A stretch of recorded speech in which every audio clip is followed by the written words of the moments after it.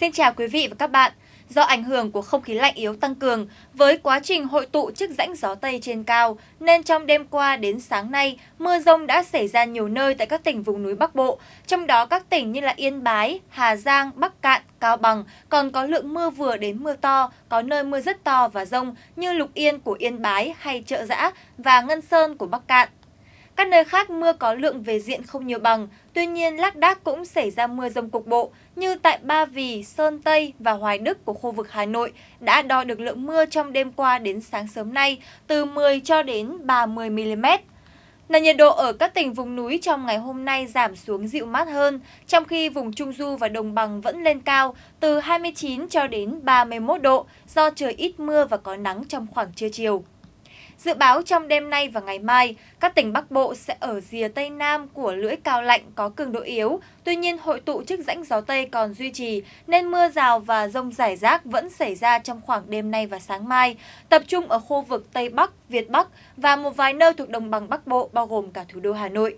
Các nơi khác thuộc vùng ven biển của khu Đông Bắc hầu như ít mưa, hoặc nếu có cũng chỉ là mưa với lượng nhỏ. Do có mưa về đêm và sáng nên nền nhiệt độ thấp nhất thời điểm này có xu hướng giảm nhẹ, dao động trong khoảng từ 20 cho đến 23 độ. Đến trưa chiều mai, mưa giảm, vùng Trung Du và Đồng Bằng sẽ có nắng nhẹ.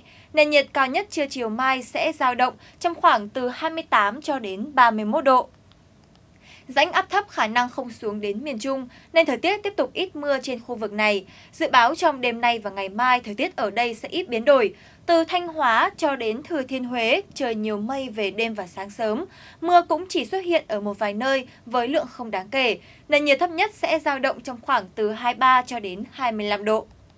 Ngày mai trời có nắng gián đoạn trong ngày cùng với nền nhiệt độ trưa chiều dao động trong khoảng từ 29 cho đến 32 độ. Thời tiết ở Bắc Trung Bộ nhìn chung khá tương đồng với các tỉnh đồng bằng phía Đông Bắc Bộ và thuận lợi cho hoạt động ngoài trời.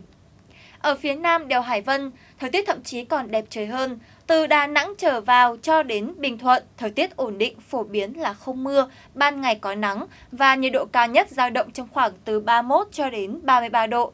Về đêm và sáng, thời tiết mát mẻ hơn. Thời tiết trong đêm nay và ngày mai được dự báo cũng chưa có nhiều biến đổi trên khu vực Tây Nguyên và Nam Bộ. Toàn vùng có mây thay đổi và hầu như ít mưa. Nền nhiệt độ ở các tỉnh thành phía Nam vẫn giữ ở mức cao nhất cả nước, với mức nhiệt độ cao nhất ngày tại vùng cao nguyên giao động từ 32 cho đến 35 độ. Nắng nóng cục bộ xảy ra tại Ampa của Gia Lai. Trong khi đó, khu vực Nam Bộ vẫn có ngưỡng nhiệt từ 34 cho đến 36 độ, duy trì ở nhiều nơi, với nắng nóng diện rộng ở các tỉnh thành miền Đông và một vài nơi thuộc miền Tây của khu vực. Riêng ven biển miền Tây của Nam Bộ có mưa rào vài nơi trong khoảng chiều tối mai, nhưng với lượng không nhiều và kết thúc nhanh. Về đêm và sáng sớm, do ảnh hưởng của độ cao địa hình, nền nhiệt độ ở vùng cao nguyên sẽ giảm về khoảng từ 20 cho đến 23 độ. Trong khi đó, thì khu vực Nam Bộ lại dao động trong khoảng từ 24 cho đến 27 độ. Trên biển đáng lưu ý là sự xuất hiện của một áp thấp nhiệt đới ở phía đông Biển Đông. Chiều nay 17 tháng 4, vị trí tâm áp thấp nhiệt đới cách đảo Song Tử Tây, quần đảo Trường Sa, khoảng 410 km về phía đông bắc.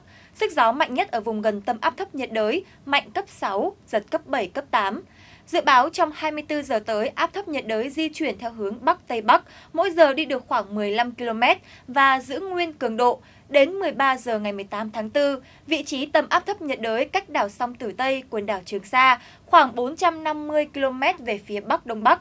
Trong 24 giờ tới, vùng nguy hiểm với gió mạnh cấp 6 trở lên, tính từ vĩ tuyến 11 đến 17 độ Bắc và phía đông kinh tuyến 115. Cấp độ rủi ro thiên tai là cấp 3.